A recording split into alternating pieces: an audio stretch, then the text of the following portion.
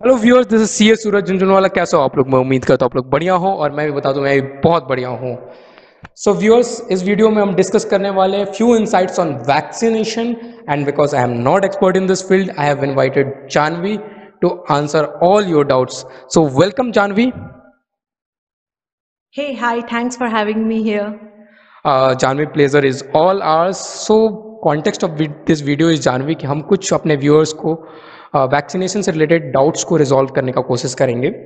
सो so, बहुत सारे doubts है कि वैक्सीन लेना चाहिए नहीं लेना चाहिए। अगर लेना चाहिए तो कौन सा वैक्सीन लेना चाहिए? एंड क्या सभी लोग वैक्सीन ले सकते हैं या नहीं ले सकते सो so, जानवी सबसे पहले आप ये बता दो क्या आपने वैक्सीन ले लिया है? हाँ ले लिया। आपने? नहीं नहीं मैंने तो नहीं लिया है। एंड रादर मैं लेना भी नहीं चाहता हूँ बिकॉज़ बिकॉज़ बहुत सारे साइड इफेक्ट्स मैंने सुने कि लाइक फीवर हो जाता है फिटिक हो सकता है। तो I don't want to rest myself क्या बोलते हो viewers right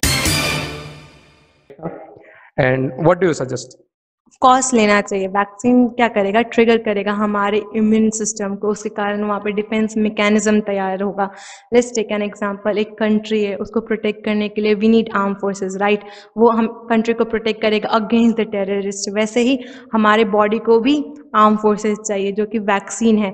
और वो हमारे बॉडी को against the corona virus protect करेगा by creating a defence mechanism इसीलिए वैक्सीन लेना चाहिए। हाँ साइड इफ़ेक्ट्स तो हैं फीवर हेडेक फटीग वगैरह होंगे बट ये बस दो से तीन दिन तक के लिए होंगे जो कि ten to thirty five percent people में ही दिख रहा है, जो कि नॉर्मल है।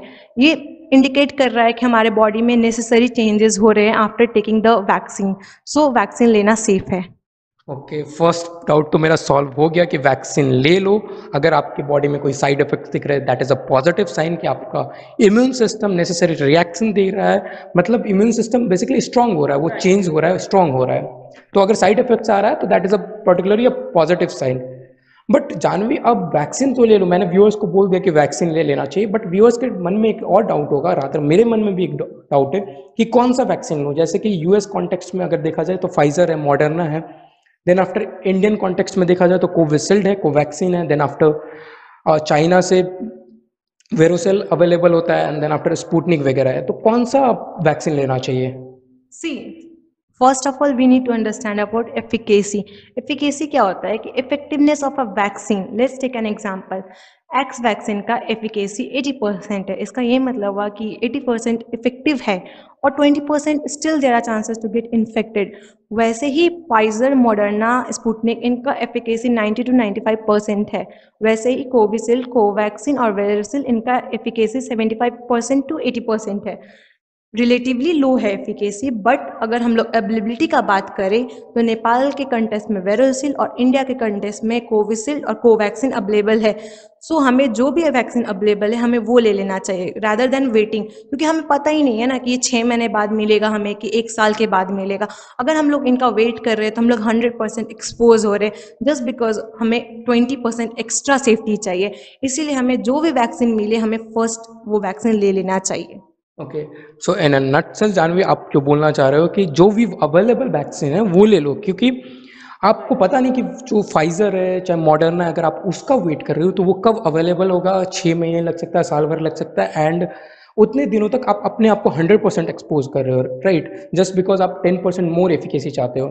सो so, जो भी व्यूअर्स आपके पास वैक्सीन अवेलेबल है वो ले लेना चाहिए and you should not wait for the that particular vaccine and second point Janhvi I believe कि जो भी वैक्सीन आता है, वो प्रॉपर मेडिकल ट्रायल्स के बाद आता है। डिफरेंट टाइप्स ऑफ़ बॉडीज़ में वो ट्राई किए जाते हैं।